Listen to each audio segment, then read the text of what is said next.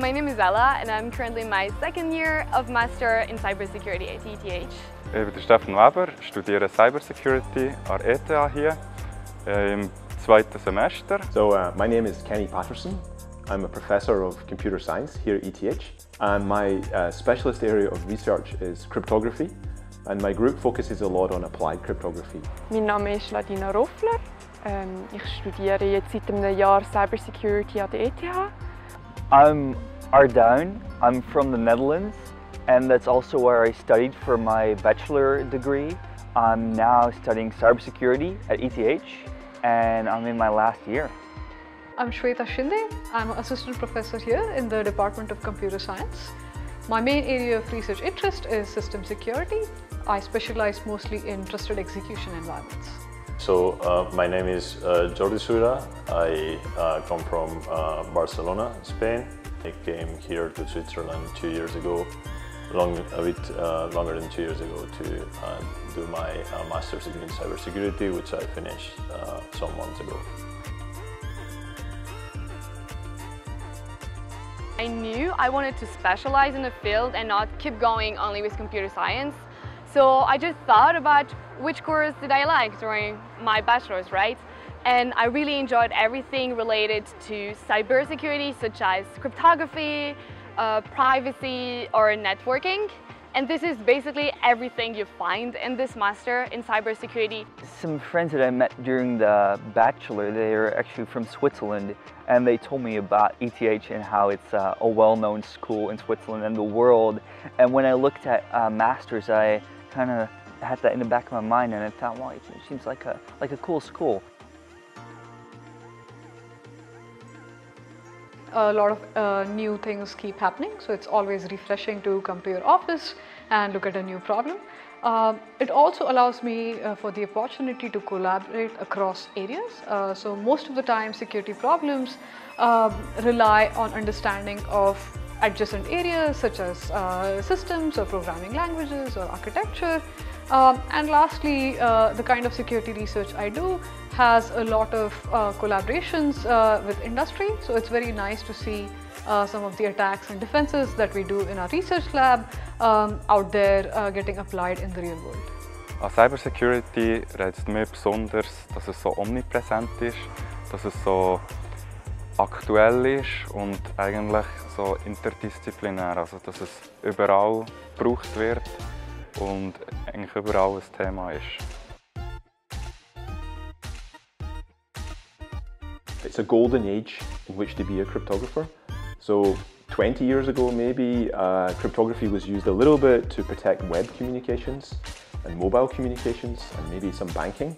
But these days cryptography is really everywhere in our everyday life. Especially in the news, I keep seeing cybersecurity pop up again and again um, for not so good reasons.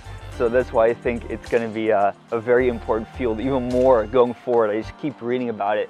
And also when I look at um, job openings, and they always mention like cybersecurity because it's such a, a vital part of, of industry. It is going more and more important at every level because now it's everywhere, right? Everyone who is using their laptop are basically aware of security maybe issues or they are concerned about it. You hear concern about the people about security in the everyday world. Uh, back in the day, only experts used to use computer systems, but now everyone uh, has a mobile phone, uses e-banking to access their financial records, uh, and most probably uses social media uh, to interact with other people. Uh, so the more data we put out there, uh, the more is the risk of getting attacked.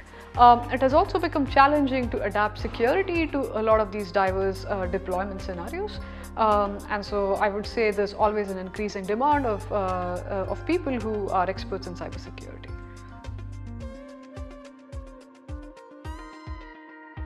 Cybersecurity ist ja ein Joint Master, das heißt, du machst ein Semester an der EPFL und das habe ich letztes Semester gemacht. Das war eine sehr coole Erfahrung.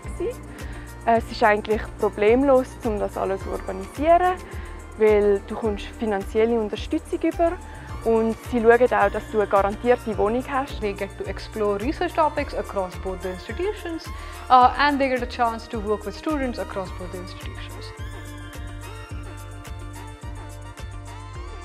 Um, I think you need to come with an open mind and ready to, to, to study hard, but also to enjoy yourself during the program. I don't think there are particular skills demanding other than a lot of commitment. After the, the basic skills that you have from computer science, it's just hard work and you just have to want to make it and you know just push yourself and do it.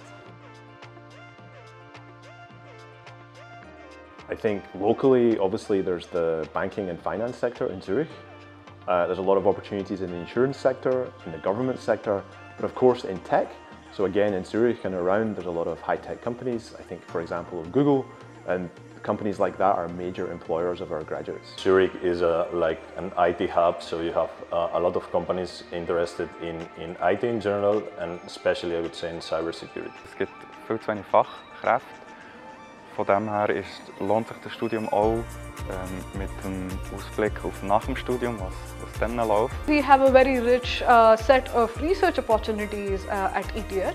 So a lot of students also either continue as uh, research assistants or take up a PhD program or decide to explore some of the ideas they had during their master studies and do their own startup. If you're interested in cybersecurity, I would 100% recommend it. You will learn so much. Um, you get out of this and you feel ready, you feel prepared, that you learned enough. They give you amazing course choice with amazing professor. You know, they're the best in their field and they know what they're teaching you. The two institutions are world class. We have some of the very best people in the world who are doing cutting edge research in cybersecurity. And I think that really comes through into the classrooms.